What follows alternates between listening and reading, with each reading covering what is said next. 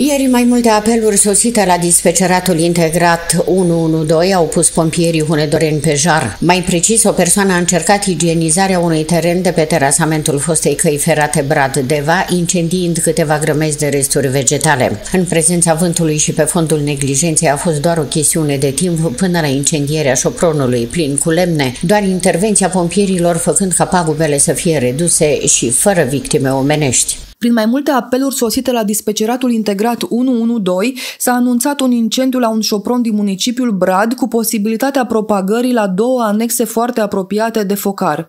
Ajunși de urgență la fața locului, pompierii brădeni au acționat prompt pentru localizarea incendiului, lichidându-l în scurt timp și evitând astfel un eveniment de proporții. Intervenția rapidă a fost un succes, având în vedere amplasarea anexelor gospodărești în imediata proximitate a incendiului incendiului, precum și intensitatea focului datorată aprinderii lemnelor depozitate în șopron.